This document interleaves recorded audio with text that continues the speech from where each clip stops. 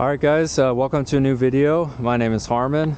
Today we're discussing the Thurston High School shooting that took place on May 20th and May 21st of 1998. The perpetrator was 15-year-old Kip Kinkel and right now we're at the school. The shooting actually took place the day before on May 20th, 1998 and we're going to get into all the details of what happened. So on May 20th, Kip Kinkel bought a handgun, $110 worth of ammunition and the handgun from his uh, friend. And the friend actually stole it from a different friend's father. And when uh, the friend's father found out, he contacted the school here. They got in hold of Kip and asked him if he had a gun on him and apparently Kip stated that, yes, yes I do. I have my handgun in my backpack. So they searched his backpack in his locker and they found the handgun. He was expelled from school pending a hearing and he also was arrested for the for the felonies. He was released from the police station, picked up by his father, and uh, brought back home. When Kip returned home, he retrieved another handgun that his father had and the ammunition and ended up going into the kitchen where his dad was sitting at the counter drinking coffee. He ended up shooting his father in the back of the head one time, killing him instantly. Kip then dragged his father's body out of the kitchen and waited till his mom returned back home. When his mom returned back home, he told her that, I love you mom, I love you.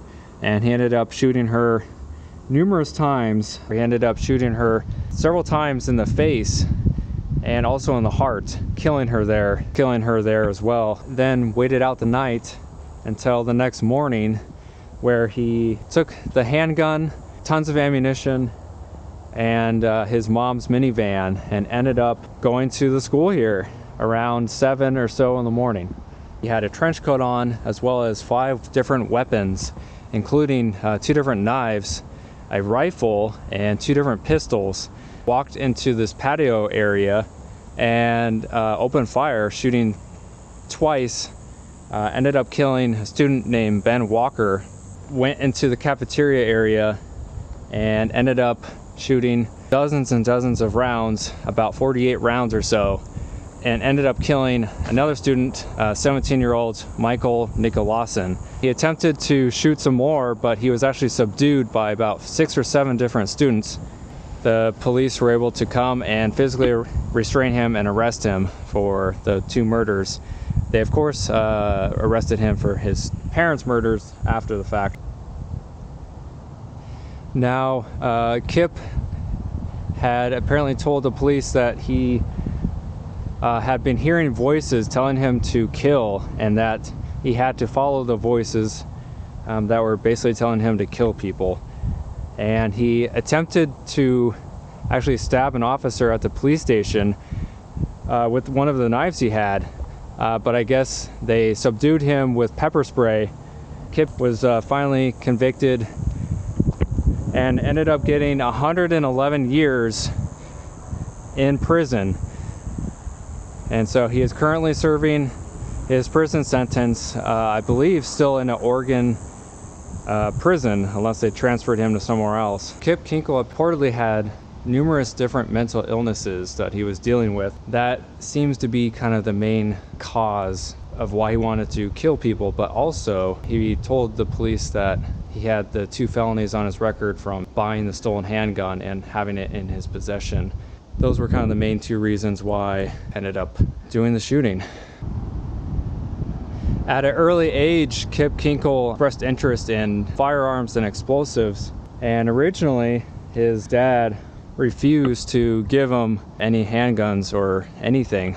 However, he kind of gave up on that fact and ended up purchasing a rifle and a 9mm handgun for Kip. Before the shooting took place, Kip apparently told many people that uh, he was very interested in committing acts of violence his classmates described him as paranoid, schizophrenic, weird, scary fellow.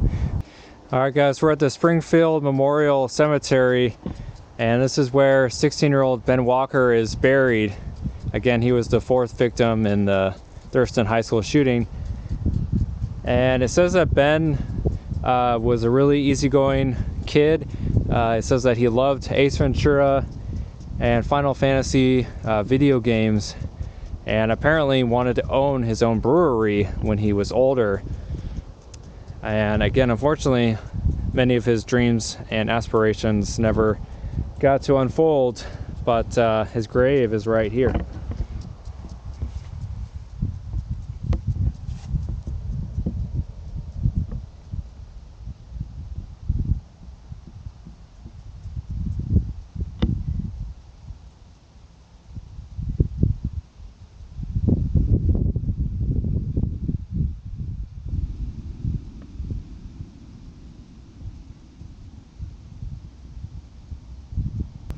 Now, this is the Sunset Hill Cemetery, and Kip Kinkel's parents, William and Faith Kinkel, are uh, interred here. They're not buried here, but they're interred here.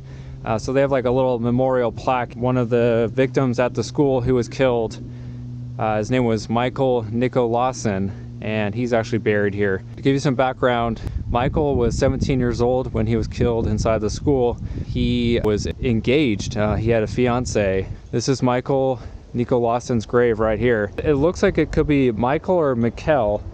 Um, I assume it's Michael, but let me know if it's pronounced any differently. He was also in the National Guard, and so he was actually buried with uh, like full military honors, I guess. And basically right across this little street, this is where uh, Kip Kinkel's parents are interred.